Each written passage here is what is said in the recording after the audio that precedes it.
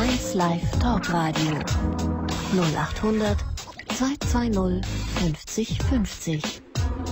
Domian im WDR Fernsehen und bei 1 Live. 1 Live 0800 220 50 50. Ihr Lieben, schön, dass ihr da seid. Willkommen bei Domian, willkommen beim 1 Live Talk Radio. Wir haben heute Nacht ein Thema. Das Thema heißt, es geschah aus Notwehr. Und ich möchte gerne mit euch reden, wie ihr schon Dinge getan habt aus Notwehr. Schlimme Dinge, mittlere schlimme Dinge oder vielleicht auch sehr schlimme Sachen. Aber es geschah eben aus Notwehr. Ich möchte mit Leuten sprechen, die es getan haben. Und ich möchte auch sprechen mit Leuten, die sozusagen Notwehropfer geworden sind. Wobei das Wort Opfer vielleicht dann gar nicht mehr so richtig zutreffend ist, aber eben auch die andere Seite. Also, wenn ihr mir gerne etwas erzählen wollt, was ihr aus Notwehr schon getan habt oder angestellt habt, vielleicht sogar ein sehr schlechtes Gewissen im Nachhinein dafür habt, aber ihr sagt, es ging irgendwie nicht anders, ich konnte in der Situation nicht anders reagieren und handeln, dann ruft mich an, Telefonnummer 0800 220 50 50 oder meldet mir unter domian.wdr.de. Die erste Anruferin ist Melanie und Melanie ist 40 Jahre alt. Hallo Melanie. Ja, hallo, guten Morgen. Guten Morgen, Melanie. Ja, ich bin ganz aufgeregt. Ich weiß, ich bin, befinde mich quasi, ja, nicht nur quasi, ich bin auch am Tatort, also wo das, wo damals die Tat aus Notwehr geschehen. Aha. Was ist, was ist geschehen? Ja, also ich bin hier in meiner, in, in der Wohnküche meiner Eltern und vor 30 Jahren habe ich dort, also mit elf Jahren, den Liebhaber meiner Mutter aus, aus Notwehr erstochen. Da war ich elf Da Jahre du elf alt, weil Jahre er meinen Vater umbringen wollte. Weil der deinen Vater umbringen wollte. Ja, der damals schon 84 Jahre alt war, also schon ganz alter Mann. Und und vorher hatte er mich gewürgt und also er wollte vorher eigentlich mich umbringen, weil er dachte, ich hätte meinem Vater das verraten. Also meine Mutter, ihr Liebhaber sind abends nach Hause gekommen und mein Vater hat sie zur Rede gestellt, Ja. dass er das wusste, dass die beiden Verhältnis hatten. Ja. Ich meinem Vater auch erzählt habe, dass der Neffe des, also, also von dem Liebhaber mich, also mich sexuell missbraucht hat, belästigt hat ne, und mein Vater war sehr Sa- aufgebracht. Sag mir mal, die Situation war der, äh, die Mutter war nicht dabei. Doch, die Mutter war auch Die Mutter auch dabei. Also, Also es waren gegenwärtig dein, dein, dein leiblicher Vater, die Mutter und der Geliebte deiner Mutter. ja, genau. Und dann gab es genau. Auseinandersetzungen. Und er war damals vier, 64 Jahre Ja. alt, also 20 Jahre jünger als So, mein äh, Vater. jetzt stelle ich mir das so vor, in der Küche, du bist elf Jahre alt, deine Mutter ist auch dabei. Ähm, die, dieser äh, Geliebte von deiner Mutter bedroht deinen Vater. Ne? Nein, er hat zuerst, sagen wir mal, er hat zuerst, also das ist, also eskaliert die Situation. Ne? Also es gab, also mein Vater hat erstmal meine Mutter beschimpft, ist auf meine Mutter losgegangen Mhm. und der Liebhaber quasi, ähm, ne, der ist dann auf mich losgegangen, weil er gedacht hat, ich hätte das verraten. Fing so. dann an, also die Hände so um meinen Hals zu legen, also mich hier richtig zu würgen, also Ja. Ne, so, ich dachte ja, der reißt mir den Kopf ab. So. Mhm. Und, ich, und mein Vater hat das dann gesehen, hat dann von meiner Mutter abgelassen. Also er hat meine Mutter quasi so geschüttelt Mhm. oder was. Ne? So nach dem, du Schlampe oder Ja. ich weiß es nicht mehr genau. Und wollte dir dann zur Hilfe kommen? Ja, wollte mir dann zur Hilfe kommen, weil, wie gesagt, ich war sein Ein und Alles. Mhm. Also wer an sein, wer, wer an sein Kind ging, also Ja. so auf Deutsch gesagt, ne, der hatte eigentlich Und dann- schon verspielt. Und dann gab ne? es ein Gerangel zwischen dem Geliebten deiner Mutter und deinem Vater. Und dann ja, hast du... So, ein- so, ein, so ein Handgemenge. Also Ja. er hat meinen Vater so gegen die Wand gedrückt und fing dann auch so auf ihn einzuschlagen, Ja. auf ihn einzutreten, auf ihn einzuboxen. Und, Und- mein Vater war schon ziemlich schwach, konnte sich nicht, nicht mehr wehren. Ja. Und, und der hat auch den Kopf gegen die Wand. Also ihn mit der Mhm. Und da hast Kopf- du, und da hast du eingegriffen. ja, da, Da hast du ein Messer, ein Messer genommen. Ja, da lag also so, so ein Brotmesser, Ja. also so ein langes Ja. Brotmesser, was man früher hatte. Ja. So, so eine Art Stiletto. ne? Ja. So, so ein ganz langes, aber eben sehr scharfes. Ne? Und, Und ich bin dann auf die beiden, äh, auf die beiden zu und dann hab gesagt, lass meinen Vater. Und, und da in demselben Moment hat er sich umgedreht Mhm. und ist mir quasi, sagen wir mal, quasi in, in die Klinge ge- gelaufen. Ja. Und äh, in die Herzgegend. Ja, in die Herzgegend. Und Also ist der Mann, ist der Mann sofort verstorben? Ja, das war, nein, nicht sofort. Also er hat, aber er ist an den Verletzungen später Mhm. gestorben. Wie viel später? Ja, ich, ich, glaube auf dem Weg ins Ach Krankenhaus. so, ach so, schnell dann doch. Mhm. Ja, ja. So, Ich mein, wie jetzt- gesagt, er ist mir auch wirklich so, ich, äh, ich weiß nicht, ob ich, aber er ist mir quasi auch wirklich Mhm. ins Messer gelaufen. Hielt das Messer, ich wollte ihn eigentlich zuerst auch nur bedrohen. Ja. ne, Aber ich hatte das Messer ganz fest in beiden So, Händen. jetzt stelle ich mir gerade vor, das passiert in einer so hoch emotionalen Situation einem elfjährigen Mädel, einem elfjährigen Kind. Wie verkraftet ein elfjähriges Kind, wenn es ihm dann hinterher klar wird, ich habe hier einen Menschen erstochen? Wie ging das dann weiter in deinem Leben? Ja, wie ging das weiter? Eigentlich, ne, so, ich meine, ich werde ja immer dran erinnert. Ich habe dir ja gesagt, ich sitze jetzt hier und das ist in der, äh, und das ist noch die gleiche Wohnküche, die sich in den 30 Jahren also Ja. so fast gar nicht verändert hat. War das damals da, direkt danach sehr schlimm für dich? Oder? Ja, kann man, das kann man schon sagen. Mhm. Ne? Ich meine, wie gesagt, weil dann auch die Polizei kam und man hat auch zuerst nicht geglaubt, dass ich das gewesen Mhm. bin, dass man da auch meine Eltern, entweder meine Mutter oder meinen Vater, verdächtig hat, Mhm. ne? dass man sich das gar nicht vorstellen konnte zu der Zeit. Aber- ich meine, das ist aber es- 30 Jahre her. Ja, aber es Ne? war aber dann- Ich meine, auch ein Kind kann töten. Ja, natürlich, natürlich. Äh, worauf ich gerade hinaus wollte mit meiner Frage war, äh, gab es dann Zeiten vielleicht, als du auch ein bisschen älter wurdest, äh, wo du dir Vorwürfe gemacht hast und Schuldgefühle empfunden hast? Nein, das überhaupt nicht. Bis heute nicht. Ich meine, ich wollte ja meinen Vater schützen. Ja. Und ich meine, ich war ja, ich war ja auch im Recht. Ich meine, ich, ich konnte ja im Belang konnte ich ja sowieso nicht Mhm. werden, da ich ja ein Kind war, auch wenn es jetzt keine Notwehr gewesen wäre. Ja. Aber es war ja eindeutig Notwehr. Ja, Ich wollte aber- ja aber dennoch- anderen Menschen. Verstehe. Gesagt, mein Vater war ein Verstehe. alter Mann von 84 Jahren Ja. und der ist auch ein halbes Jahr später gestorben, auch so an eine, so an Ich verstehe. Dennoch kann man natürlich, äh, gibt es ja auch so dieses psychologische Phänomen, Phänomen dass man aus Not etwas macht und äh, alle einem auch recht geben, man dennoch ein schlechtes Gefühl oder Gewissen hat. Aber da bist du mit dir im Reinen bis heute. Ja, ich denke mal, wie gesagt, es, es war ja Notwehr. Mhm. Ich wollte ja einen anderen Menschen helfen, ihn, ihn schützen. Ne? Und, und Wie hat sich denn das Verhältnis zu deiner Mutter, das war ja nur ihr Geliebter, wie hat sich denn das danach dann verändert zwischen dir und deiner Mutter? Ja, sagen wir mal so. Also ich meine, ich, ich, ich weiß nicht so, wir, wir haben nie, nie da, darüber wirklich gesprochen. Ach. Aber ich glaube auch nicht, dass sie den Mann, sagen wir mal, es war so ihr Sexpartner, weil mein Ja. Vater eben schon sehr alt war und er ihr das, meine Mutter war damals 49, also eher dieser Mann, also ich glaube nicht Liebhaber, ist ein bisschen übertrieben, also ich glaube nicht, dass sie ihn wirklich geliebt hat. Also, ihr habt nie drüber gesprochen, das finde ich sonderbar. Ungewöhnlich, ne?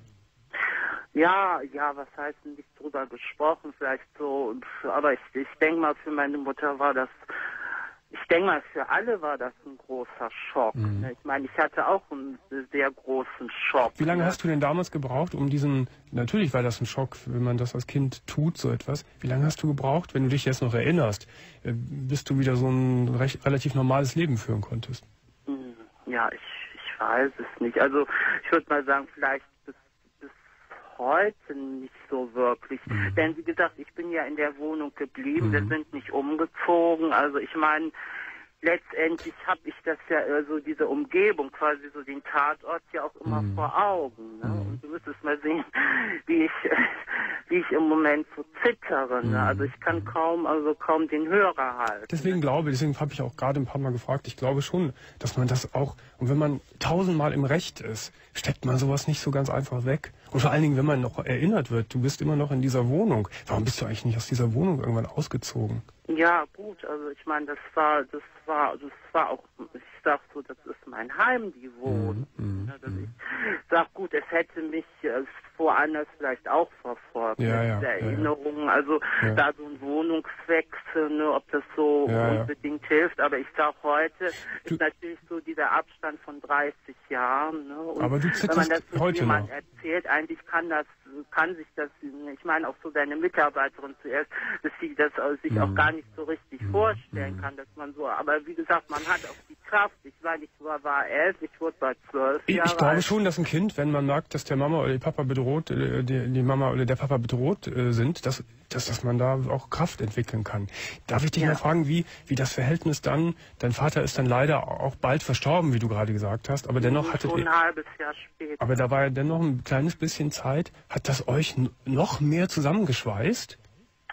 Ja, auf jeden Fall. Mhm. Auf jeden Fall. Das, das kann man gar nicht anders, äh, Ja. kann man gar nicht anders sagen. Ja. Also das ist, wie gesagt, ne, er hat ja umgekehrt, er hat ja zuerst mich gerettet, Mhm. sagen wir mal. Ich meine, ich war ja der Anlass quasi, ne, weil der Verrückte, ne, der, der, der hat ja versucht, der hätte mich ja wirklich, ich, ich hatte also wirklich Atemnot, Mhm. also, ne, und da war auch so dieser Hass, ne, er hat ja versucht, mich, ne, Unter, unter Umständen hätte er dich, gefehlt, hätte, er, ne? hätte er dich vielleicht umgebracht. Ja, also der war ja wirklich wie Ja. von Sinn. Der hat ja so, ne, der hatte so mit seinen Händen, das war so wirklich so wie wie wie, wie Mhm. aus Stahl. Ne? Und ich war ein Kind von, äh, ich hatte auch Würgemale, Mhm. das hat man nachdem auch festgestellt. So, Melanie, äh, da du gerade gesagt hast, was ich sehr gut verstehen kann, wenn auch so viel Zeit, was ist schon Zeit, wenn schlimme Dinge passiert sind, ähm, zurückliegt. Äh, du zitterst, wenn du, wenn du darüber sprichst.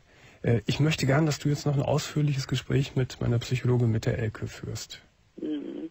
Ja, wie gesagt, weil ich wirklich, es ist so, ja, wie wie soll ich das erklären? Es ist irgendwie so, ja, so ein bisschen das Gefühl habe ich doch so, dass äh, so dieses, aber äh, weißt du, ich hasse diesen Mann, weil er mich eigentlich auch erst in die Situation gebracht Mhm. Ja, natürlich, natürlich. Er hätte ja meinen Natürlich. Vater, Ja, ja, natürlich. ne, und wie Ja. gesagt, mein Vater war so ein alter Mann, also er hätte ihn ja wirklich. Es hatte dich, ich- es hat dich ich jetzt dein, dein, ja, es hat dich jetzt dein ganzes Leben begleitet bis heute. Jetzt legst du bitte auf und wir rufen dich nochmal an, Melanie. Ja, okay. Ich wünsche dir alles Liebe von Herzen. Dankeschön. Auf Wiederhören. Tschüss. Tschüss. So, meine Lieben, unser Thema heute Nacht heißt, äh, es geschah aus Notwehr. So etwas zum Beispiel, was wir gerade von Melanie gehört haben, was ja nur sehr dramatisch war. Ähm, aber es gibt ja auch weniger dramatische Sachen, aber dennoch Dinge, die einem vielleicht im Nachhinein leid tun, was man aus Notwehr gemacht hat. Oder man sagt eben auch, äh, ich stehe dazu, das war Notwehr, das ist sehr schlimm, was da passiert ist, aber es ging gar nicht anders und ich habe mit mir Frieden geschlossen, dass ich das getan habe. Äh, ich möchte gerne mit Menschen sprechen, die so etwas getan haben, erlebt haben und so denken. Und vielleicht auch mit Leuten, die äh, in der anderen Rolle waren, die Opfer von einer Notwehraktion geworden sind, vermutlich dann vorher aber auch Täter waren. Telefonnummer 0800 220 50 50 und hier ist Peter und Peter ist 41. Hallo Peter. Ja, hallo Domian, grüße dich. Hallo, Peter. Erstmal bin ich 41 und nicht 40. Ich glaube, ich habe 41 gesagt. Und wenn, dann habe ich Nee, mich versprochen. 40 gesagt. Ich bitte um Entschuldigung. Pass auf, kein Problem. Ja, Ähm, erstmal einen großen Lob an dich Dankeschön. über deine Sendung. Dankeschön. So, und äh, bei mir geht es darum, ich bin Polizeibeamter gewesen, Ja, habe 1989 einen Jugendlichen erschossen, Mhm. weil ich äh, zum Banküber, äh, Banküberfall gerufen wurde. Mhm. Und naja gut, ich meine, ich habe das bis heute nicht verkraftet, Mhm. aber die ganze Geschichte holt mich wieder ein, weil ich gestern ein Telefongespräch hatte mit der Frau eines Jugendfreundes, der auch bei der Polizei war Mhm. und dem genau dasselbe Schicksal ist, der dasselbe Schicksal erlitten hat wie ich. der aktuell gerade das erlebt hat. aufgeregt. Bitte? Ich bin ein bisschen aufgeregt, Mhm. Also der aktuell gerade das, das durchmacht, erlebt hat, was du damals erlebt hast. ganz genau. Mhm. Das war 1989. Bei mir war das 1989. Ja. Wie alt, wie alt war der, der Täter? Äh, Der Täter war 21 Jahre Mhm. und äh, ich kannte den, den Täter persönlich, weil ich im Sauerland gewohnt hatte. Ach so, vom, vom, vom Sehen so nur oder noch Und näher? Nein, wir kannten uns eigentlich, wir waren ein Dorf mit 500 Einwohnern Mhm. und äh, wir kannten uns eigentlich persönlich, nur die ganze Dramatik holt mich jetzt ein. Magst du vielleicht kurz nochmal noch mal erzählen, wie, äh, wie, die, äh, wie der Tathergang war oder der, ja, wie, wie, wie, wie es passiert ist? Ja, der Hergang ist eigentlich, dass ich mit einem Kollegen zusammen zu dem Einsatzort gerufen wurde. Mhm. Wir sind am, am Dorf gewesen und, ähm, und es ist so, dass du da halt ein ähm, Einsatzgebiet von 50 Kilometer hast. Mhm. Mhm. Weil halt äh, we wenig Polizeistation bzw. Äh, wenig Polizeibe äh, Polizeibeamten zur Verfügung oben. Mhm. Das mag heute anders sein, das weiß ich nicht. Ja. Und auf jeden Fall ähm, sind wir dann zum Einsatzort gerufen worden. Wir sind auch hingefahren und äh, der Kollege oder der Jugendliche hat äh, dann eine Waffe, ge eine Waffe gezogen und ich habe dann gezielt den Schuss an angesetzt. Also Moment, ihr kommt, ich stelle mir vor, ihr kommt angebraust mit einem Auto, ihr steigt aus. Wo war der Täter in dem Moment? Der Täter kam aus der Bank direkt raus. Er kam aus der Bank raus mit gezogener Pistole Mit einer gezogenen Pistole. und stand euch vis-à-vis quasi gegenüber. Ganz genau. Und äh, in Sekunden geht einem da ab, wenn ich es nicht schieße, schießt der. Ganz genau. Mhm. Ich bin auch der Meinung, dass er mich erkannt hat. Ich habe ihn auch sofort erkannt. Achso, er war nicht maskiert in dem Moment. Nein, er war nicht maskiert. Ja. Hatte er da schon sein Geld geholt? Das Geld hat er gehabt. Das waren 250.000 Mark. Bist du aus dem Auto raus und hast sofort geschossen oder hast du Nein, irgendwelches... nein. Wir sind aus dem Auto raus und haben durch den Gruppenleiter erstmal die Situation klären lassen. Mhm. Und dann kam er, wie gesagt, raus. Ich denke mal, dass er mich erkannt hat. Ich Ja. habe ihn auch erkannt. Ja. Er hat auf mich gezielt. Mhm. Ich habe dann den gezielten Schuss ins Herz gesetzt. Nur, was ich nicht wusste, dass es halt eine Holzpistole war. Dass er eine Holzpistole nur hatte. Ganz genau. Z äh, zielt man denn äh, direkt ins Herz oder lernt man nicht bei der Polizei erstmal ins Bein zu schießen oder in die Schulter oder sowas? Man lernt normal erst in die Knie zu schießen. Und warum hast du Aber, ins Herz äh, geschossen? Keine Ahnung. Also es war, ich, meine, ich ver- verstehe das nicht als Vorwurf, diese Frage. Nein, Äh, es war Selbstschutz. Es war ja, einfacher ja, ja. Selbstschutz. Jeder von uns äh, würde wahrscheinlich, man kann gar nicht darüber sprechen, wie jeder von uns reagiert hätte. Ja. Ähm, das Schlimme ist sicher für dich äh, darüber hinaus, dass, dass er verstorben ist bei, bei, der, bei, der, äh, bei dem Vorfall, dass es eben nur eine Holzpistole war. Richtig, Aber genau. wiederum, wie solltest du das vorher wissen?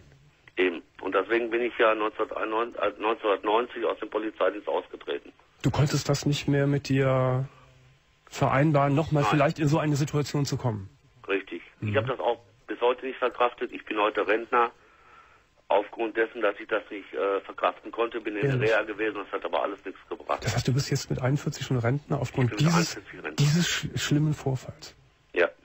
Hast du mit, du sagst, du kanntest den, den, den, äh, den Bankräuber. Äh, Ja. Hast du mit der Familie Kontakt hinterher mal gehabt? Nein, den, den Mut habe ich nicht gehabt. Es ist auch so, dass ich in demselben Dorf gewohnt habe und äh, bin dann aus dem Dorf auch weggezogen. Mhm. Bin weit weggezogen, weil ich damit einfach nicht leben konnte. Nun sind sehr viele Jahre vergangen. Das war 1989, jetzt haben wir 2005. Ja. Äh, wie oft denkst du noch daran? Ähm, ehrlich gesagt, ich denke fast jeden Tag daran. Äh, was denkst du dann? Denkst du, hätte ich es nicht gemacht? Denkst du, wäre ich nicht zur Polizei gegangen? Äh, wie sind die Gedanken? Ja, äh, also zu, äh, zur Polizei gegangen äh, möchte ich jetzt eigentlich nicht sagen. Das war schon für dich damals eine, eine logische und gute Entscheidung, Polizist geworden zu sein in der Das war, eine, Zeit. das war eine super Entscheidung. Ja, ja. Selbstverständlich, weil ich mit Menschen zu tun haben wollte. Ich, wollte- ich wollte Menschen helfen, die Mhm. ganz einfach in Notsituationen waren. Was, was, was denkst du, wenn du heute an den Fall denkst, immer wieder? Wenn ich heute daran denke, da will ich gar nicht drüber nachdenken, weil da absolut ähm, negative Gedanken für mich aufkommen. Sag, sag mir mal so einen negativen Gedanken. Suizid zum Beispiel. Ich Mhm. habe zwei Suizidversuche hinter mir. Aber warum? Weil du dir zu große Vorwürfe machst? Ja, weil ich mir einfach denke, dass ich da über, äh, überreagiert hatte. Ich bin ja äh, danach, das war ja 89, ich bin ja ein Jahr im, im polizeipsychologischen Dienst gewesen. Und äh, dieser äh, polizeipsychologische Dienst hat mir gar nichts gebracht. Weil ich da einfach nicht wie klargekommen bin. Und diese, diese Gedankenkonstruktion, die ja jeder von uns nachvollziehen kann, ich, ich wirklich auch, äh, dass äh, es hätte ja nur wirklich eine echte Pistole sein können und er hätte zuerst schießen können, das hilft dir nicht. Nein, das ist mir gar nicht, weil ich mir das nicht verzeihen kann. Also es sind also wirklich Schuldbekenntnisse da. Ich habe mir gedacht, mein Gott, hättest du vielleicht anders reagiert oder hätte der Kollege vielleicht zuerst geschossen, ähm, anstand du. Aber da sage ich mir wieder, okay, er hat, er hat auf mich gezielt, was keine Entschuldigung ist für mich, dass ich halt, ich habe für meine Beziehung überreagiert. Nur die ganze Finde- Geschichte finde- holt mich jetzt ein.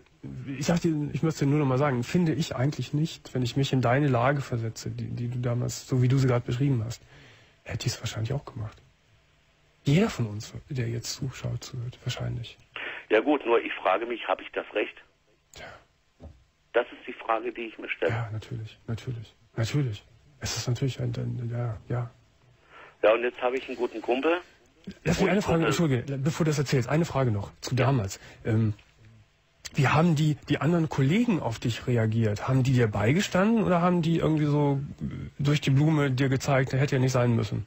Nein, also mein Gruppenleiter damals, der hat also hundertprozentig hinter mir gestanden. Und Mhm. äh, Die Kollegen, die ich hatte, die haben auch hinter mir gestanden. Ja. Okay, jetzt, jetzt habe ich dich gerade zweimal schon unterbrochen. Jetzt erzähl mal, jetzt läuft, jetzt kommt die ganze Sache äh, nochmal in, in, in Aufruhr bei dir, weil ein, ein, ein Bekannter von dir in ähnlicher Situation ist. Ja, es ist schon eher ein Kumpel. Mhm.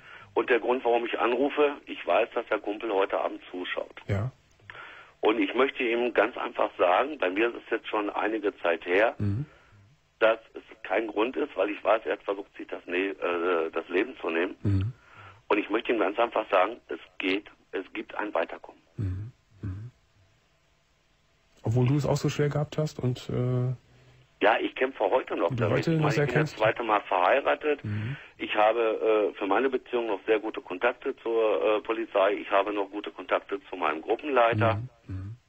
die ich auch pflege. Aber halt äh, dieses Fehlverhalten, was ich jetzt für mich empfinde, kann mhm. ich mir nicht verzeihen.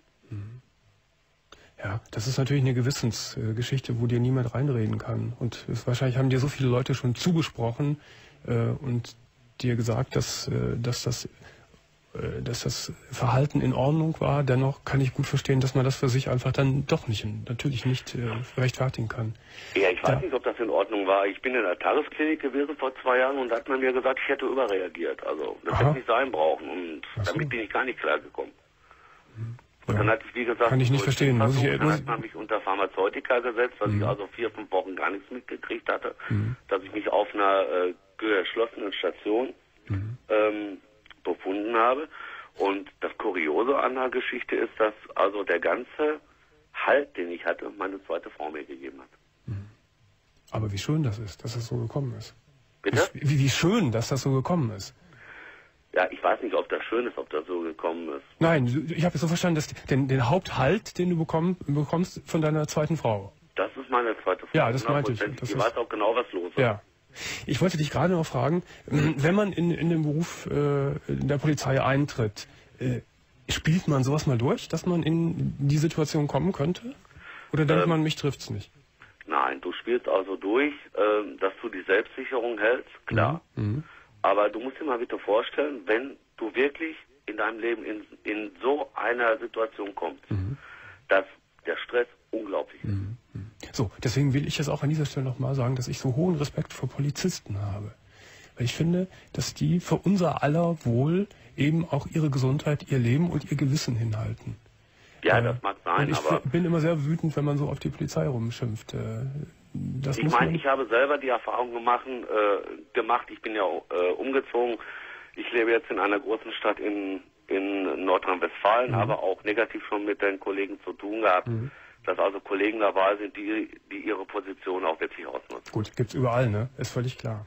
Ja. Sag mal, Peter, äh, hast du schon so viele Psycho-Sachen hinter dir? Kann ich dir denn trotzdem noch ein Gespräch mit meiner Psychologin anbieten? Na, selbstverständlich. Okay, dann mache ich, mach ich das sehr gerne.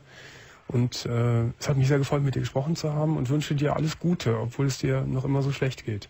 Aber Gratul Gratulation nochmal zu deiner Liebe und zu deiner Frau. Das ist ja schon ein großes Glück, dass das sich so ergeben hat. Ja, ich hoffe ja, dass jetzt durch die Rente und durch, durch äh, dass ich durch meine Psychotherapie mal wieder ja. einen Weg ebnen kann. Ja, das wünsche ich dir wirklich von ganzem Herzen. Alles Gute, du legst bitte auf und die Elko ruft dich zurück. Gut, ich wünsche dir was zu mir. Dankeschön, auf Wiederhören. Unser Thema heute Nacht heißt, äh, es geschah aus Notwehr und an dieser Stelle ein äh, Hinweis, Entschuldigung, ein Hinweis auf Donner, nicht auf Donnerstag, Donnerstag haben wir heute, auf Samstag. Samstag haben wir wieder Promi-Besuch. Samstag ist mein prominenter Gast hier in der Sendung, äh, die, man sagt, so die giftigste Entertainerin Deutschlands, nämlich Desiree Nick, äh, zudem auch noch amtierende Dschungelkönigin. Äh, und wenn ihr euch gerne mit Frau Nick unterhalten wollt, es ist ja immer interessant, sich mit Frau Nick zu unterhalten oder was man so im Fernsehen bisher gesehen hat, wenn Leute sich mit ihr unterhalten. Und man kann sich sicher auch gut mit ihr streiten oder kabbeln oder diskutieren. Dann meldet euch jetzt schon bei uns äh, unter domian.wdr äh, de. Meldet euch für das Telefonat an und dann rufen wir euch zurück. Bitte eure Telefonnummer nicht vergessen, auf, das, auf die Mail zu schreiben. Diese Woche Samstag, halb zwölf im WDR-Fernsehen, Besuch bei mir, nämlich Desiree Nick. Cornelia, 49 Jahre alt. Hallo Cornelia. Ja, guten Abend, du. Ja, guten Abend. Mhm. Ähm, ich rufe an, weil mh, hm, es geht hier um Notwehr den meine Tochter damals war sie zehn Jahre alt, Mhm. ähm, ja, mutigerweise vollbracht hat. Ja. Was ist da passiert damals? Mm, Mein Ex-Mann hat meine Tochter sexuell missbraucht Mhm. über einen Zeitraum von einem knappen Jahr. Ähm, und er hat immer gesagt, wenn du irgendjemandem was sagst, werde ich deine Mutter töten. Von daher konnte sie sich mir gegenüber nicht offenbaren, Ja. weil der Mann war sehr gewalttätig, Ja. auch mir gegenüber. Da war die Kleine so neun Jahre alt ungefähr. Ja, sie Als- war als das anfing. zehn, neun, zehn Ja. Jahre. Mhm. Mhm. Und er war Miriam, also meiner Tochter gegenüber, sehr gewalttätig. Ähm, und der Missbrauch, der hat sich gesteigert. Und nach einem guten Jahr, oder nach einem knappen Jahr, besser gesagt, ähm, war es so, dass sie genug hatte, einfach Angst hatte und hat Mhm. gesagt, ich kann nicht mehr, ich will nicht mehr, ich wehre mich jetzt wirklich aus der Not heraus. Mhm. Und sie hatte, es mag sein, dass es ein Kindertaschenmesser war, Mhm. das hatte sie bei sich. Ja. Und er kam wieder in ihr Zimmer und sie hat das aufgeklappt und hat gesagt, du fasst mich nie wieder an. Mhm. Ich schneide dir sonst was ab. Hat das kleine Mädchen gesagt? Ja. Mhm. Und ich kann sagen, wir haben einen Prozess geführt. Moment, langsam. Wie hat er, wenn er gewalttätig ist, das muss ihn doch verrückt gemacht haben, zornig gemacht haben, wie hat er darauf reagiert? Dieses kleine Mädchen, ganz, ganz zart, Mhm. ganz ängstlich Mhm. bisher, hat mh, das ganz mutig und voller, m, aus vollem Herzen zu ihm gesagt. Mhm. Ganz entschlossen. ganz entschlossen. Mhm. Und ich bin mir ganz sicher, dass er wusste, irgendetwas passiert ihm. Mhm. Sei es, dass sie sich offenbart, irgendjemandem. Ja. Und hat dann von ihr abgelassen. Ja. Ja. Aber äh, wie ist es dann zu einem Prozess gekommen? Das heißt, dann hat sie doch gesprochen danach. Mhm. Ähm, es ist so, dass ähm, er auch sich mir gegenüber sehr gewalttätig verhalten Mhm. hat. Und ähm, ich war damals, weil es mir eben schlecht ging in dieser Beziehung, war ich beim Psychotherapeuten Mhm. und habe mich dem offenbart und er hat gesagt, bestimmte Dinge verjähren nie. Mhm. Die kann man anzeigen. Ich habe mich dann mh, bei der Kriminalpolizei gemeldet. Äh, es ist zu einem Strafantrag gekommen. Jetzt muss, ich, jetzt muss ich ihn unterbrechen, sonst kommen wir mit, den- mit den Zeiten durcheinander. Ja. Ähm, ich habe jetzt gerade noch mal vor Augen die Situation, das kleine Mädchen bedroht den gewalttätigen Vater mit, mit, seinem, mit dem Kindertaschenmesser. Ja, So. Ähm, danach hat deine Tochter sofort mit dir gesprochen. Nein. Wann hast du es erfahren? ich habe es erst erfahren, nachdem ich von der Staatsanwaltschaft die Meldung bekommen habe, dass er zu einem Prozess kommt. Wie viele Jahre lagen dazwischen? Äh, das war zeitgleich letztendlich, also die Tat gegenüber meiner Tochter und Ah, mir. Also Äh. wie, wie, wie, viel, nein, wie viele Jahre lagen dazwischen? Äh, die kleine Tochter bedroht den Vater und es ist dann äh, zum Prozess gekommen. Drei, gut drei Jahre. Drei Jahre. Das heißt drei Jahre. Ich, ich frage so genau, weil ich mir das vorstellen will. Das heißt drei Jahre hat die Kleine noch weiter geschwiegen. Ja. Aber er hat sie in Ruhe gelassen. Ja, inzwischen war es so, dass wir erfahren haben, dass er in Haft war. Und Ich, ich muss aber sagen, wie mutig von diesem Kind. es war, Wie mutig von diesem Kind. Das ist ja unglaublich. Ein neun, zehnjähriges, ein, ein Ja. neun oder zehnjähriges Mädchen. Äh, das kann sein, nur das hinterlässt Spuren. das glaube ich. Weil ähm, es ist so, sie ist nach wie vor in psychotherapeutischer Behandlung, Wie alt ist deine Tochter heute? 14. 14. Mhm. Und ähm, es ist so, dass angeraten wird, dass sie in die Kinder- und Jugendpsychiatrie soll. Äh, ist denn der, der Täter jetzt verurteilt? Heute ist das Urteil gesprochen. Heute worden. ist das Urteil. Also es ist ganz aktuell. Zehneinhalb Jahre. Zehneinhalb.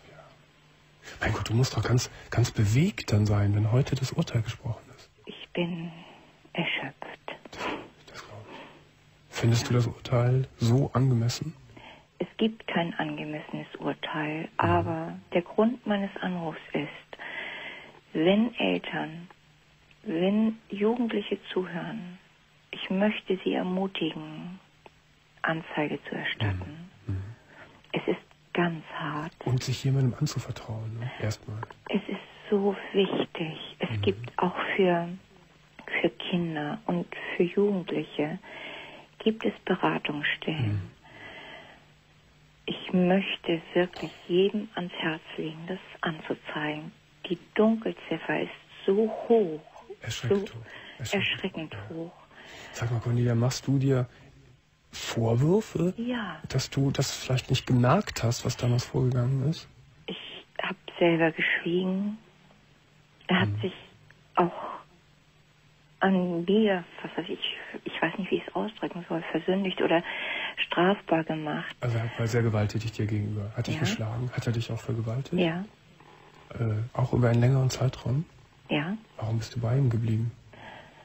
Ich bin nicht bei ihm geblieben. Er ist gewaltsam in die Wohnung eingedrungen, immer wieder. Mhm. Er hat uns aufgelauert, überall, überall. Und letztendlich hast du dann die Anzeige erstattet. Nachdem ich wusste, er ist in Haft wegen anderer Delikte. Weil du vorher Angst gehabt hättest. Ja, Lebensangst, Todesangst. Auch meine Tochter. Ich verstehe, wie dramatisch. Ja, Wie aber dramatisch. ich Das heißt, bin du hattest kein Einzelfall. Nein, ich weiß, ich weiß, ich weiß es. Aber wie, Ja. ich, ich, ich, verstehe das ja jetzt erst richtig. Mhm. Du hast dieses Martyrium auch ertragen, quasi auch aus, aus Todesangst. Ja. Und erst, dass er jetzt wegen einer anderen Sache in Haft ist, hast du den Mut aufgebracht, äh, ihn anzuzeigen. Ja. Und dadurch ist das auch rausgekommen, erst mit dem Mädchen. Ja. Wahnsinn. Ähm, und äh, ich habe das vorige Gespräch mitbekommen und wollte zu den Polizisten auch sagen, er darf sich keine Vorwürfe machen. Überhaupt gar nicht. Wir haben auch ganz, ganz oft die Polizei gerufen. Letztendlich, das letzte Mal, als ich die Polizei gerufen habe, hat der Beamte zu uns gesagt, wenn wir noch einmal anrufen, müssen wir den Einsatz alleine bezahlen. Diesen Polizisten verurteile ich. Warum, ha warum haben die nichts gemacht? Die haben zu mir, zu uns wortwörtlich gesagt, sie können erst was machen, wenn wir blutend am Boden liegen. Ja, ja. Ich habe blutend am Boden gelegen, aber ich war auch nicht mehr in der Lage, zum Hörer zu greifen. Ja? Mein Gott. Und jetzt hast du es, jetzt ist, die, jetzt ist das alles von dir abgefallen, diese Last. Nun ist er weg, nun ist er eingesperrt. Ja, das schon, aber Du bist mein Kind ist, ist ganz tief verwundet. Dein Kind ist dir verwundet und du auch. Ja, aber ich denke mir, als Elternteil Mhm. muss man tragen. Das, das denke ich. Und es ist auch einfach so. Trotz allem will ich, möchte ich wirklich, dass jeder sich irgendwie offenbart. Mhm.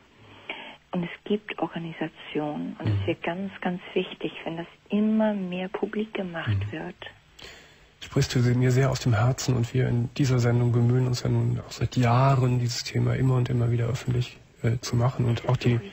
Opfer zu ermutigen, zu sprechen und sich Menschen anzuvertrauen. Ja, es ist ganz wichtig und es gibt wirklich Hilfe. Mhm. Es ist ein ganz harter Weg, der auch ganz lange dauert, aber mh, es gibt mh, eine Art Strafe oder auch eine Grenze für Menschen, wo gesagt wird, das geht so nicht. Und das ist ganz wichtig. So, Cornelia, ich merke, dass du wirklich sehr erschöpft bist. Ja. Mhm. Nach so einem Tag und nach all dem, was hinter dir lag. Ja. Ähm, aber ich möchte gerne, dass meine Psychologe noch gleich ein bisschen mit dir spricht. Bist du einverstanden? Ja. Da habt ihr wirklich Ruhe und könnt euch Zeit lassen. Mhm. Gut. Ich bin froh, dass für euch jetzt, wenn auch alles sehr schlimm ist, aber dennoch das Martyrium vorbei ist. Ja. Das ist ja gut und dass er zehn Jahre bekommen hat. Ja. Und wir wollen hoffen, dass er nicht früher entlassen wird. Ja. Ja. Mhm. In Ordnung. Liebe Cornelia, du legst bitte auf und ich wünsche dir und deinem, deinem Kind von Herzen wirklich alles Gute. Danke. Auf Wiederhören. Tschüss. 0800 220 50 50, wenn ihr euch auch gerne mit mir unterhalten wollt. Wir haben heute ein Thema und das Thema heißt, es geschah aus Notwehr. Hier ist Fred und Fred ist 42 Jahre alt. Hallo Fred. Hallo Domian. Hallo Fred. Was geschah bei dir aus Notwehr? Also bei mir aus Notwehr geschah im Krieg. Das ist zwar schon 20 Jahre her und zwar vom, ich war im Krieg vom Januar bis Ende Juli 1984 In welchem Krieg? im Bürgerkrieg im Libanon. Ja. Ich war in Beirut sta- stationiert bei den NATO-Truppen und da sind schreckliche Dinge passiert. Die sind so schrecklich, dass man die kaum erzählen kann. Jetzt muss ich mal eben fragen, waren da Deutsche bei damals? Nein, damals waren noch keine Deutsche. Ich Du bin, auch warst? kein, ich bin aber auch kein Ach, du bist Deutscher. kein Deutscher. Ah ja, okay. Mhm. Ja. Damals, wo ich da angekommen bin in Beirut, da war der, dieser Feldzug von Ariel Sharon. Der ist in diese palästinensische Flüchtlingslager eingezogen mit seiner Heeresschar und hatte Unterstützung von diesen christlichen äh, Milizen aus Beirut. Das waren die Phalange. Und die haben die Leute da so niedergemetzelt. Also Frauen, Männer, Kinder, einfach die Kehle durchgeschnitten. Also was da passiert ist, das vergesse ich nie mal wieder. Ich habe es gesehen, wo ich gekommen bin, weil da war. Zwar die Schlacht schon vorbei in die Camps, aber die ganze Leichen und alles und der Geruch und alles, die, die verbrennte Zelte, Flüchtlingszelte, kreischende Kinder, nichts zu essen, also das vergisst man nie mal wieder. Hast du denn auch Dinge tun müssen aus Notwehr, um dich zu schützen? Ja, wir waren als NATO-Truppen, sollten wir einen Schutz bieten zwischen diesen äh, christlichen Milizen und diesen Palästinenser da und sonstige Gruppen. Aber das ging da jede Nacht nur Raketenangriffe, Bombenangriffe, Patrouille laufen, unter Beschuss und du, wenn du einmal in den Strudel drinne bist, dann, dann hast du auch keine Gefühle mehr, weil du, ob du einen niederschießt oder nicht oder wie auch immer, das interessiert dich nicht mehr. Du denkst nur Ja. an deine eigene Haut. Ja, ja, das kenne ich aus den Erzählungen meiner Verwandten, die im Zweiten Weltkrieg waren, die Männer, Ja. äh, die das äh, genauso erlebt haben, dass man da irgendwie gar nicht mehr denkt, sondern nur noch handelt, um sich zu retten. Ja, genau. Man, man, man kann nicht, man denkt nicht mal rational, man, man handelt nur noch. Das heißt, äh, wenn man äh, Menschen befragt, die als Soldaten im Krieg waren, in extremen Situationen waren, wenn man die fragt, wie viele Menschen hast du erschossen, wissen die meistens gar nicht. Wirst du auch nicht wissen, oder? Nein, weiß ich auch nicht. Die Redaktion hat mich auch gefragt, aber ich kann es nicht sagen. Es können 10, können 20, können 30 sein, ich weiß es nicht. Weil die Kämpfe, die sind nachts und du hast dein, äh, dein Maschinengewehr oder wie auch immer und äh, du, du schießt mit den anderen mit. Was du ist- kämpfst mit den anderen mit, also kannst nicht beurteilen. Du, weißt Was, du, ne? was ist für dich, wenn du jetzt, das sind jetzt 20 Jahre her, wenn du im, wenn du so die Bilder aufrufst, ist für dich schlimmer das, was du gesehen hast, wie die Menschen doch gefoltert, niedergemetzelt worden sind? Oder ist für dich schlimmer die Vorstellung, ich habe auch so viele Menschen ums Leben gebracht?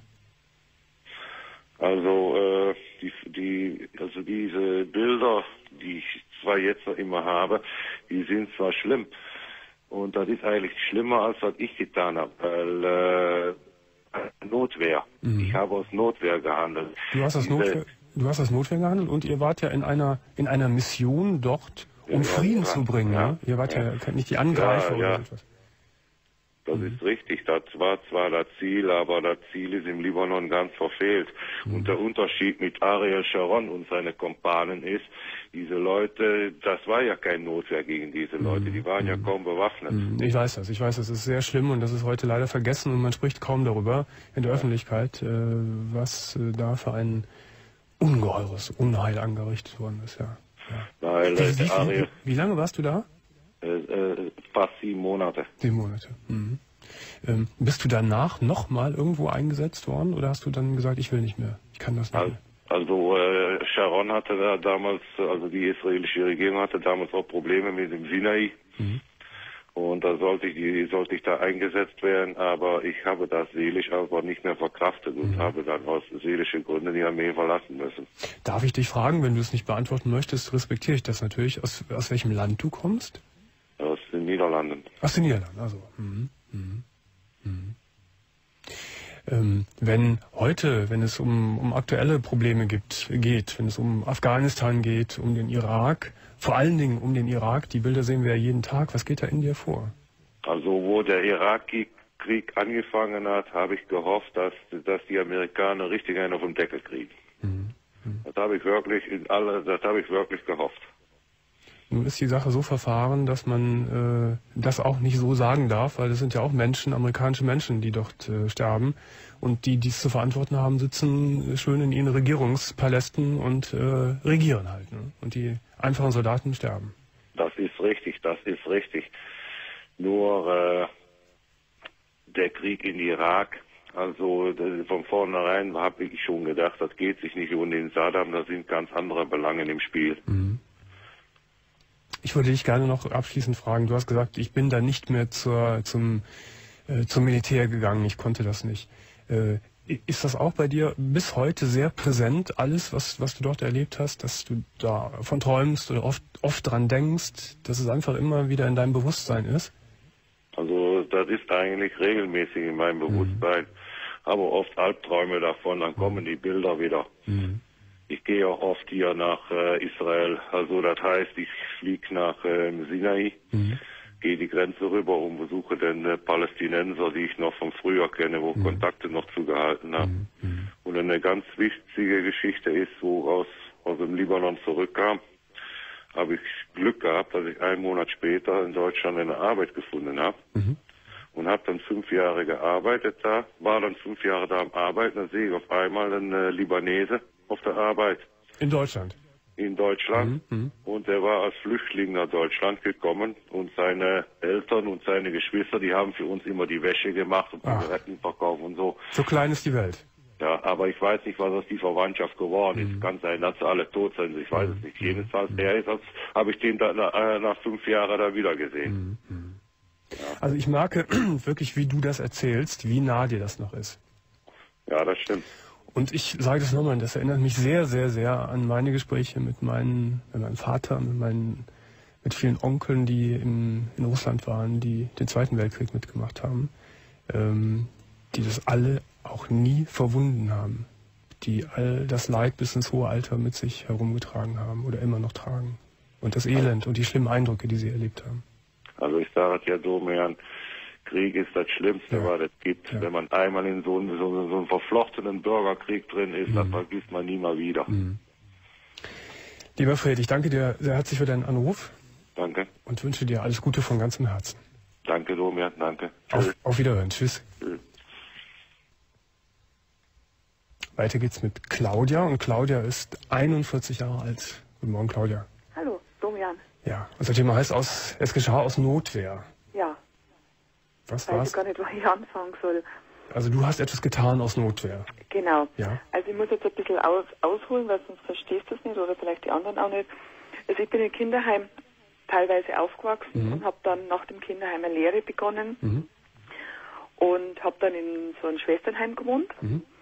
Und, ähm, also Lehrer als Krankenschwester? Nein, als Hauswirtschaftler. Als Hauswirtschaftler. Genau. Mhm. mhm kann man ja da drin machen. Mhm. Und habe dann natürlich dann Arbeitskollegen gehabt und so. Mhm. Und mit zwei habe ich mich besonders gut verstanden, mit zwei Mädels. Und ja. wir sind dann in die Diskothek öfters weggegangen und eines Abends sind wir wieder weggegangen in die Diskothek. Und da haben wir zwei Männer kennengelernt. Und zwar einen älteren, mhm. der ist circa fünf, 45, 50 Jahre gewesen. Mhm. Und einen etwas jüngeren, der wird so vielleicht 35 gewesen sein. Und äh, haben uns ganz nett unterhalten und so. Und dann hat der ältere Mann gesagt, ob wir nicht mit ihm mitfahren wollen. Er hat ein großes Haus und hat ein Videogerät. Und das muss ich dazu sagen, ich war damals 17 und ja. wie gesagt, das liegt länger zurück, da ja. war ein Videogerät noch was Besonderes. Ja, das glaube ich, ja. Mhm. aber, aber, sehr besonders, ne? Ja. Mhm. Und äh, dann sind wir dort, äh, dann haben die anderen beiden Mädels dann gesagt, also meine Freundin, nee, die haben Frühdienst, die können nicht mitfahren und so. Und ich hatte äh, an den Zeit, zu dem Zeitpunkt Urlaub, das war Mai. Mhm. Und äh, bin dann mit den beiden Männern mitgefahren. Ich bin ins Auto eingestiegen. So Ui. naiv, ja, so naiv war ich. Mhm. Und dann sind wir, äh, so, ich weiß jetzt nicht, so vielleicht so eine halbe Stunde gefahren. Mhm. Ich kann jetzt den Zeitraum jetzt nicht mehr so sagen. Und äh, tatsächlich ein großes Haus und ich hatte es aufgesperrt, ein riesengroßer Vorraum und ein Wohnzimmer und, und, ein- und so Bad äh, als Erdgeschoss und und so weiter und so fort. Und ich wusste, der war, der ist verheiratet und dessen Frau war damals in Augsburg. Also ich war ein bisschen weiter weg und so. Und dann hat er ein Video reingetan und dann haben wir uns nett unterhalten und ich habe Maracuja-Saft getrunken. Ja. Und äh, dann sprach, sagte der Jüngere zu dem Älteren, sagte dann, äh, dass er heim muss. Und ich habe dann gesagt, dann fahre ich gleich mit. Und hat er gesagt, nein, er muss in die entgegengesetzte Richtung fahren, er ist gleich wieder da. Und ist dann raus aus der Wohnung und hat aber, bevor er raus ist, noch alle Jalousien runtergemacht. Die gingen damals schon automatisch runter. Ja, also der Jüngere oder ist der Ältere auch mit aus dem Haus? Der Ältere hat den Jüngeren heimgefahren. Gefahren, ich verstehe. Mhm. Ne? Und bevor dass er den äh, heimgefahren hat, hat er noch alle Jalousien herunten zugemacht. Das heißt, du warst, du warst eingesperrt in dem Haus dann. Ja, ich habe mich nicht eingesperrt gefühlt. Aber es war de facto war es so, ne? Ja, im Endeffekt war es ja dann. Und er kam dann auch wieder nach einer er, gewissen Zeit? er kam dann relativ schnell wieder und ich habe noch den Video angeschaut und, äh, das, die, und im Wohnzimmer, die Couch ist ziemlich frei gelegen, ne? also keine Wand hinten dran und so. Ja. Und so ein Glastisch und da, wie gesagt, da stand der Maracuja-Saft drauf, die Flasche und so. Und ich hörte den Schlüssel, wie er reinkommt und äh, habe auf dem Video geschaut und habe dann auf den Glastisch geschaut. Und das hört sich wahrscheinlich an, wie wenn ich es aus der Zeitung gelesen hätte. Ne? Aber so, so kann ich es bloß erzählen. Also, Das Video, lass mich zu dem Video noch fragen. Das war ein ganz normales Video oder waren das irgendwelche Schweinereien, die, die nein, das war ein ganz normales, Ein ganz normales Video, Ein mhm. ganz stinknormales So, Video. jetzt sagst du, du hast auf den, auf den Tisch geguckt mit dem Maracuja-Saft. Ja. Was ist das Besondere daran? Dann kam, ich, ich hörte ja, dass er reinkommt. Ja. Und dann kam er auf, äh, dass er ins Wohnzimmer auch kommt. Ich, ich habe ihn aber nicht angeschaut. Ja? Und wie ich hochschaue, habe ich genau in eine Pistole reingeschaut. Und was hat das mit dem Saft hier zu tun? Der hat, der hat sie dann, der, der hat dann gesagt, ich soll mich ausziehen und ich habe dann, ich war dann, äh, irgendwie habe ich dann total normal funktioniert. Also würde ich jetzt heute noch, sage ich heute immer noch, ne? Er hat sich dann neben mich hingesetzt und hat dann versucht, an mein Bein so hoch zu fassen und so weiter. Ich war nicht aufreizend angezogen, das ist damals gar nicht so gewesen, ne? Und äh, äh, er hat auf mich eingeredet und äh, Währenddessen hielt er die Pistole auf dich. ja, Ja? die ganze Zeit. Und du warst wahrscheinlich in Trance und in Todesangst. ich ich kann, ich kann, das, kann das gar nicht sagen, was das war. Das glaube ich. Da kann man sich wahrscheinlich gar nicht richtig dran erinnern. Wie Nee. ging wie ging es dann weiter? Dann, dann habe ich ihn, dann habe ich, bin ich ganz ruhig gewesen. Mhm. Also ich habe nicht geschrien oder hysterisch und habe zu ihm, ihm gesagt, er soll die Pistole auf den Glastisch legen. Mhm. Und das hat er dann gemacht, weil sonst kann ich nicht, habe ich gesagt. Genau. Und übrigens, ich habe vorher noch nie sexuellen Kontakt gehabt zu einem Mann. Wie wahnsinnig. Was, in der Intuition hast du gesagt, leg es da hin, sonst Ja, kann ich nicht. Sonst kann ich nicht, ja. Und er hat das gemacht. Und der hat es dann tatsächlich gemacht Ja. und so.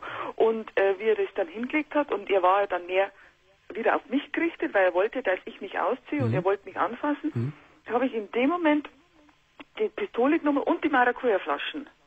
Also links die Maracuja-Flaschen, rechts die Pistole. Ja. Bin aufgesprungen, bin um den Tisch rum. Wie gesagt, ja, das ist so frei Mhm. das Ganze.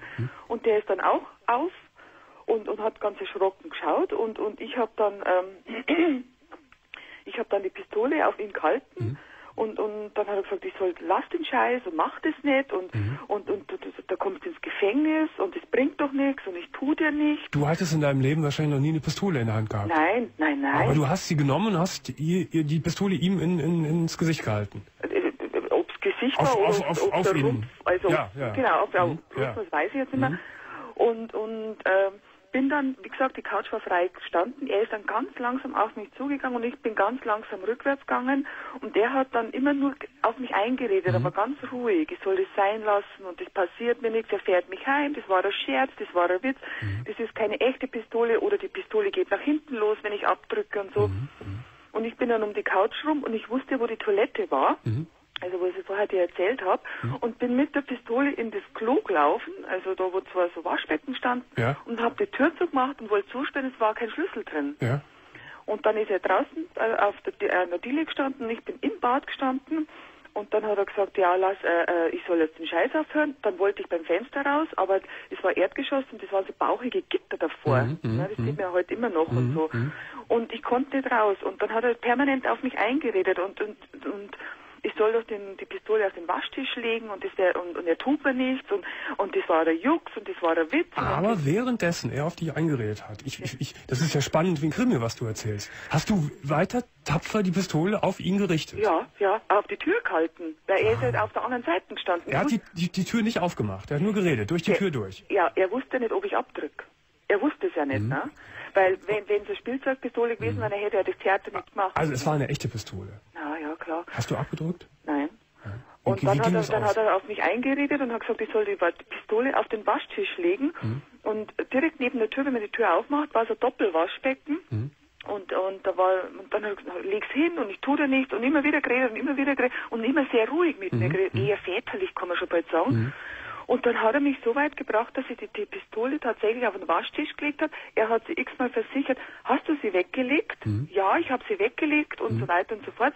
Dann auf Einschlag ging die Tür auf, wumms, er hat die Pistole genommen und dann hat er es mir ins Gesicht gehalten. Und dann? Gott. Dann hat er mich umgedreht und hat mich hinten an den Haaren gepackt und hat mir die Pistole genau hinten in, in, ins Genick gehalten und gegenüber von dem äh, von der Toilette war, war ein Gästezimmer und da, da hat er mich reinbefördert und da musste ich mich vor ihm ausziehen. Also er hat die Pistole immer in der Hand gehalten, immer auf den Kopf zielt und so. Und dann habe ich mich ausgezogen, dann musste ich mich hinlegen. Währenddessen hat er sich dann auch ausgezogen, hat aber die Pistole immer in der Hand gehabt. Ja. Aber mit der Pistole konnte er mit mir ja nichts machen, immer mit einer Hand. Und dann hat er die Pistole so hingelegt, dass ich, ich habe dann den, Kopf zur Seite gelegt, auf die linke Seite. Also ich, Wahnsinn, was ich noch weiß, eigentlich Wahnsinn. Und dass ich in den Lauf gucke, das wollte er. Das heißt, ich, ich, ich unterbreche jetzt mal, um es so vielleicht zu verkürzen. Und ich finde es auch so unglaublich spannend. Äh, er, er, hat, er hat dich dann äh, vergewaltigt? Ja, öfter, ja. ja. Öfter. Und wie bist du da rausgekommen? Er hat, ich habe dann am Anfang halt mich dann schon geweigert und, und, und habe dann rumgezippt und geschrien ein bisschen und dann hat er gesagt, ich soll ruhig sein. Und dann habe ich gesagt, meine zwei Freundinnen wissen, dass ich mit ihm mitgefahren bin. Und dann hat er gesagt, das ist scheißegal, die können sich an ihn bestimmt nicht mehr erinnern. Wenn dieser Akt vorbei ist, also Akt hat er jetzt nicht gerade gesagt, aber wenn dies vorbei ist, dann schießt er mir auf alle Fälle den Kopf, aber nicht im Haus, sondern er fährt mich auf die Müllhalde. Es war tatsächlich, gab es damals eine Müllhalde, ne? Und da schießt er mir in den Kopf und zerschallt mich und dann kommt es nie raus. Gott, wie schrecklich. Jetzt sag mir, wie du da rausgekommen bist. Wie, wie hast du es geschafft? Ja, er hat sein, er hat das halt gemacht, was er machen wollte. Das war nicht, war nicht kurz, würde ich jetzt sagen. Also ewig hat das gedauert. Dann musste ich mich wieder anziehen. Er hat sich dann auch angezogen und dann musste ich ihm vor ihm gehen. Er ist hinter mir gegangen. Dann sind wir zum Wagen gegangen, der war vor dem Haus gestanden. Da musste ich mich reinsetzen. Also bin auf der Fahrerseite, muss ich reinklettern, er hinterher, damit er mir weglaufen kann. Und dann äh, war mir, da war ich, die Angst war nicht mehr da. Das, das, mir war das ganz, ganz klar. Aber wie, wie bist du dann frei, wie bist du freigekommen? Ende. Er hat mich dann unter den Faden rausgeschmissen. Claudia, ist das eine Geschichte? Das ist ja unglaublich. Und Das ist ja, dann- das ist ja eine Geschichte wie in einem, im schlimmsten Krimi. Zu was ist der Mann verurteilt worden? Zu gar nichts. Hast du ihn angezeigt? Ich bin dann nächsten Tag, also es war ja schon morgens eigentlich, wie das dann war, ne, so vier, fünf Uhr morgens, ich weiß schon gar nicht mehr, habe ich dann meinen beiden Freunden erzählt, beziehungsweise die haben mich darauf angesprochen, weil ich so verstört war und permanent geduscht habe und so. Dann habe ich das halt erzählt und so, ganz schnell und ohne Emotion aber. Ne? Und dann hat eine von den beiden Freunden hat dann die Polizei angerufen, dann ist die Kripo vorbeigekommen, beziehungsweise die normale Polizei vorbeikommen, dann musste ich das Ganze erzählen. Ich habe das wahrscheinlich ein bisschen durcheinander dann auch noch erzählt. Da hat ein Polizist gesagt, das ist äh, so ein Pipifax, aber Sie müssen jetzt die Kripo einschalten. Dann haben sie so lange gewartet, bis die Kripo kommt. Die Kripo hat mich dann wieder ausgefragt und so weiter. Wie das war, musste ich am nächsten Tag musste ich auf das Revier. Ja. Also es ist äh, keine Anzeige erstattet worden. Nein, die haben nicht gefragt, ob ich einen Orgasmus gehabt habe. Ich wusste zu dem Es ist Zeitpunkt überhaupt nicht, das was ist ein Orgasmus Es ist ja unfassbar. Oder ob im Bett Flecken waren oder oder oder Mhm. Oder äh, ob, ob, ob ich ihm warum wie die Pistole aussieht und ob ich den Finger auf dem Lauf gehabt habe, wo ich die Pistole Das heißt, hingehalten das heißt, dieser Mann ist bis heute ungeschoren davongekommen. Es war ja Gegenüberstellung, der wurde, der wurde ja rein in, auch in die, zur Polizei geholt. Und dann haben sie mir die Waffe so verschweißt in einer Tüte oder was das war, haben sie mir hingelegt, ich habe es vorher beschreiben müssen, es war genau die Waffe. Und, und dann habe ich ihn gesehen, dann habe ich gesagt ja. Und dann hat er bloß mich angelacht und hat sich umgedreht und ist gegangen, der Mann. Und das, ich habe aus, aus einem bestimmten Grund zu dir gesagt, warum ich im Kinderheim war. Mhm. Es ist dann, wir, wir, sind dann zu dem Haus hingefahren. Mhm. Ich habe genau sagen können, das Haus ist, die Einfahrt ist und so weiter und mhm. so fort. Also das, das habe ich mir den ersten Finger gezogen. Und jetzt kommt der Clou. Äh, das hat sich dann ein paar, paar, Wochen irgendwie so hingezogen und die Vormundschaft hat bei mir das Jugendamt gehabt damals, mhm. Weil ich ja nur minderjährig war. Äh, Claudia, ich muss mal unterbrechen, sonst sprengt das die ganze Geschichte unserer Sendung, weil wir uns schon lange unterhalten. De, de facto ist, dass, da, dass dieser Mann nie bestraft worden ist, dass er nie vor Gericht gestanden hat. Ja, Domen, und zwar aus dem Grund, weil die zu mir gesagt haben, die wussten, dass er aus dem Kinderheim kommt, dass der, der Jugendamt eine Vormundschaft hat. Da hat der eine Polizist gesagt zu mir, das waren immer zwei Polizisten mhm. dabei und auch immer eine Frau dabei, mhm. also zu mir gesagt haben, Sie wissen schon, Fräulein, hm, hm, hm, wenn, das, wenn wir das im Staatsanwalt vorlegen, wir müssen ja vorlegen, hat er gesagt, dass Sie ins Jugendheim kommen. Und ich hatte ja so Angst vom, vom Jugendheim. Ich, ich habe Angst. Und dann habe ich das Ganze zurückgezogen und bin rausgegangen wie ein Depp. Eine furchtbare Geschichte. Eine ja. furchtbare Geschichte. Und es tut mir jetzt sehr leid, weil ich eigentlich mit dir, äh, ich hätte noch hunderttausend Fragen, die ich, dich, die ich dir stellen würde wollen. Es geht leider nicht mehr, weil jetzt die Zeit äh, wirklich äh, im, ho im hohen Maße schon überschritten ist. Ja. Aber wir rufen dich gleich nochmal an. Gerne. Wir rufen dich wirklich gleich nochmal an, weil das ist ja wirklich so unfassbar. Äh, obwohl es schon so lange her ist, aber mein das, Gott, mein das, Gott. Das, du hast einmal eine Sendung gehabt, du hast mich gefragt, was man da empfindet. Das ist wie wenn man auf dem Mond ist, es gibt keine mhm. Zeit und es mhm. gibt Kohlen. Das glaube ich. Ja, das glaube ich. Ich kann mich an das Gesicht nicht erinnern, an den Körper, ja, ja. aber an das Gesicht nicht, bis heute nicht. Du legst bitte auf, wir rufen dich gleich nochmal an, Claudia. Okay. Alles Gute von Herzen. Also, tschüss. Danke, tschüss. Hier ist Ramesh, 43. Hallo Ramesh. Hallo. Guten Morgen. Guten Morgen. Wir haben nicht mehr so ganz viel Zeit, aber du wirst mir noch etwas erzählen. Ja, und zwar ähm, höre ich deiner Sendung äh, heute Abend zu und ich stelle fest, dass die meisten deiner Anrufer aufgrund ihrer ähm, ähm, Gegenwehr bei Angriffen mhm. irgendwo ein schlechtes Gewissen haben. Mhm, mhm. und mir ist ähm, auch ähm, so etwas Ähnliches passiert und ich habe überhaupt kein schlechtes Gewissen. Ganz im passiert? Gegenteil. Was ist passiert? Und zwar bin ich Karneval vor zwei Jahren von zwei ähm, jungen Männern, die eigentlich genauso betrunken waren wie ich, angegriffen worden. Mhm. Und ähm, ich habe mich massiv gewehrt, weil dieser Angriff ähm, ähm, ganz fürchterlich war. Also mich hat jemand mit einer Bier, mit einer abgebrochenen Bierflasche angegriffen. Mhm. Und ähm, ich habe überhaupt kein schlechtes Gewissen. Ganz im Gegenteil. Ähm, ich bedauere eigentlich, dass ich, ähm, nachdem ich mich ab erfolgreich wehren können, mhm. Den, den Ort des Geschehens verlassen habe, ohne ähm, das weiter zu verfolgen. Achso, weißt du, wie sehr du den anderen zugesetzt hast oder wie sehr ja, du sie verletzt hast? Ähm, also es waren zwei Angreifer und ähm, ich habe also den einen habe ich definitiv kampfunfähig geschlagen, das, mhm. daran kann ich mich erinnern, an den zweiten kann ich mich nicht so erinnern. Mhm. Äh, als ich am nächsten Tag äh, mit dem Pkw an dem ähm, Ort des Geschehens vorbeigefahren bin, konnte man, da es das Ganze unter einer Eisenbahnbrücke war, mhm konnte man also immer noch den, die Blutflecken oh. erkennen mhm. auf dem Bürgersteig. Das heißt also, da ich ähm, ähm, äußerlich mehr oder weniger unverletzt war, ich hatte also nur ja. die Knöchel kaputt ja. vom Schlagen, muss das Blut von den Angreifern gewesen sein. Das heißt, du musst ein sehr kräftiger Kerl sein, wenn du mit zwei äh, fertig geworden bist. Ähm, ja, weiß ich nicht. Ich, ich, ich denke ganz einfach, dass ähm, Angst beflügelt und äh, Schon, ja, um das sehr vorsichtig auszudrücken, mhm habe ich mir äh, in Anführungsstrichen vor Angst was in die Hose gemacht. Mhm. Aber das also aktiviert also, natürlich ungeheuer wahrscheinlich die Energie und die Kraft in einem.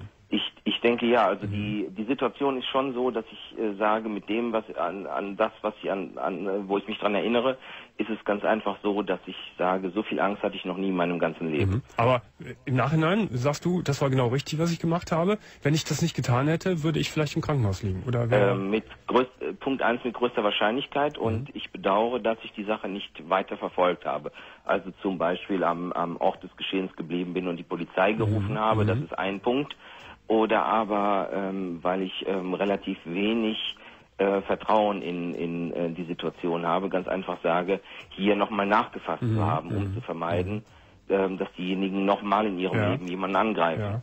Also ich habe im Gegensatz zu ähm, beispielsweise dem Polizisten, ähm, der, äh, glaube ich, der zweite Anrufer war, mhm, mhm, ähm, habe ich überhaupt kein schlechtes Gewissen, mhm. dass ich jemanden äh, fürchterlich verletzt habe. Mhm. Er hat jemanden tödlich verletzt, ähm, mhm. das habe ich nicht. Ja. Aber ähm, ich habe kein schlechtes Gewissen, dass ich jemanden ganz fürchterlich verletzt habe. Ähm, ganz im Gegenteil, ich bedauere, dass ich eigentlich ähm, die Situation nicht weiter verfolgt habe. Ich danke dir für deinen Anruf. Sehr gerne. Auf Wiederhören. Tschüss. Tschüss. So, ihr Lieben, das war's für heute. Unsere Sendung Es geschah aus Notwehr. Morgen gibt's wieder eine Sendung. 1 Uhr Radio 1 Live, 1 Uhr wieder Fernsehen und am Samstag haben wir Promi-Besuch hier. Um halb zwölf beginnt dann schon unsere Sendung. Desiree Nick ist mein prominenter Gast und ihr könnt Desiree Nick anrufen, mit ihr diskutieren, reden und ihr könnt euch per Mail schon mal anmelden unter domian.wdr.de. Ich wünsche euch eine gute Nacht und eine schöne Nacht und sagt Tschüss bis morgen.